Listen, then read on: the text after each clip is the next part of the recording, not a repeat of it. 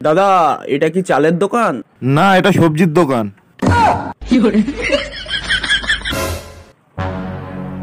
এখানে কি কি চাল পাওয়া যায়? দুধেশ্বর মিনিকিট বাঁশকাঠি জিরাকাঠি গোবিন্দভোগ মাসুরি আতপ বাসমতি রাইস বিরিয়ানির চাল।